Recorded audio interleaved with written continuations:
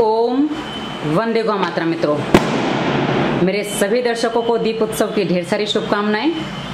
आज मेरा घर कैसा लगता है? क्योंकि बहुत से लोगों के मन में एक शंकाएँ हैं, प्रश्न है कि आपका घर कैसा है? हमें एक बार दिखाइए।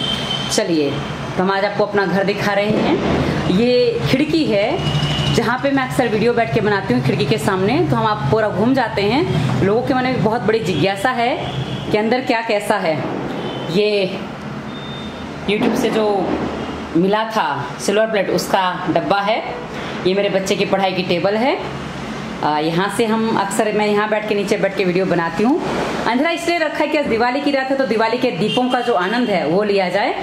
आ, ये जो आप अक्सर मेरे पीछे जो देखते थे आपको सफ़ेद सफ़ेद कुछ दिखता था ये देखिए।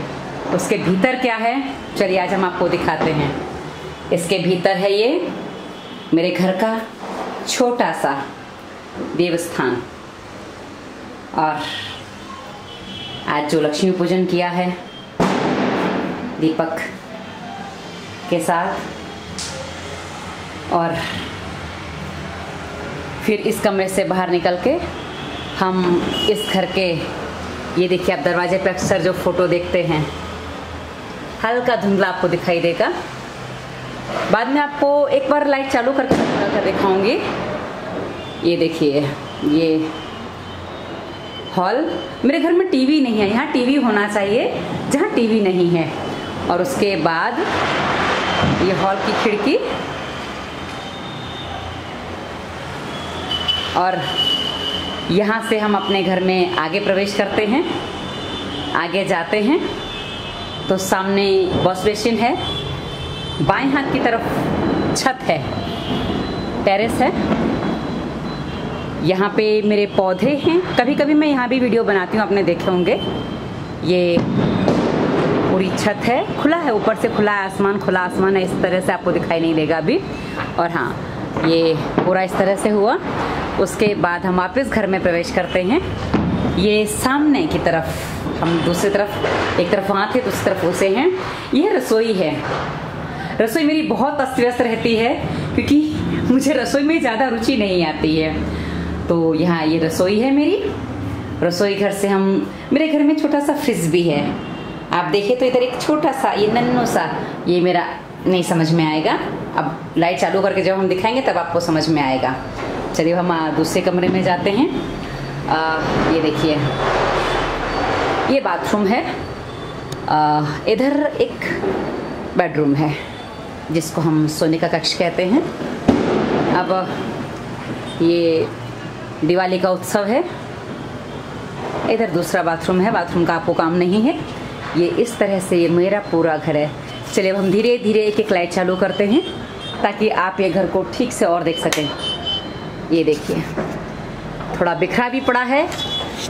आइए, ये आपके मन में जिज्ञासा होती है, ये मेरे बेटे के फ़ोटो हैं, एक ही बेटा है, उसके दोनों फ़ोटो हैं। एक छः सात महीने का था, एक पौने तीन साल का था। तो ये वो फ़ोटो हैं। अब हम वापस ये देखिए। एक एक लाइट चालू करते जाएँगे तो आपको सब कुछ स्पष्ट होता जाएगा। यहाँ भी हमने एक वीडियो बनाया था, जो हमने आँखों की देखभाल पर अभी दिया था थोड़े दिनों पहले। और, उसके बाद ये रसोई इतनी फैली पड़ी है, देख लीजिए आप। और ये है नन्नू सा मेरा फ्रिज आप देख सकते हैं मेरे फ्रिज की साइज़ क्या है। मेरे कमर से भी नीचे है। और उसके बाद हम आगे बढ़ते हैं। ये टेरेस की तरफ़ हम गए थे, इसमें मैंने बल्ब लगाना भूल गई हूँ, क्योंकि मुझे इसमें ऐसे ही अच्छा लगता है। तो आप ऐसे ही देख लीजिए।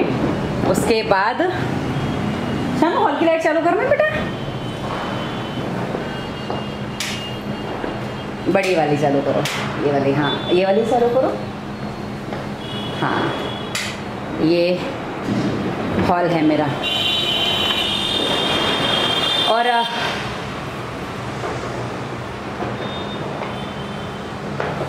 इस कमरे की लाइट चालू करो बेटा।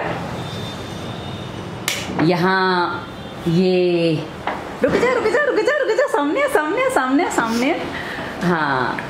अंधेरे में है अभी। सामने आओ बेटा, सामने आओ। ये मेरा बेटा है। इसको कभी आप बाल बहुत बड़े हैं अभी इसके। हाँ ये इसका टेबल है और ये लैपटॉप है इसका। मेरा लैपटॉप अंदर रखा हुआ है और, जो आपकी जिज्ञासा है, उस कमरे के लिए मैं आपकी जिज्ञासा को शांत कर देती हूँ। यहाँ जो मेरा अक्सर मैंने अभी बताया था ना कि मैं जहाँ मैं वीडियो बनाती हूँ, आपको पीछे इस तरह से कुछ दिखता है। जो आप देखे कई बार सोचते हैं कि क्या है। ये एक्चुअली लाइब्रेरी है, किताबें हैं इसमें, देखिए। इसमें बहुत सारी किताबें हैं। और इधर ये मेरा पूजा घर है। ये देखिए। अब आप ये मत सोचिएगा कि मैं किसकी पूजा करती हूँ।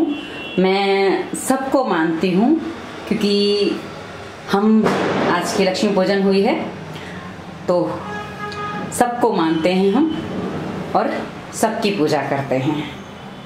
तो ये है मेरा घर और अब आपको मैं भी दिख जाऊँ। ये हूँ मैं।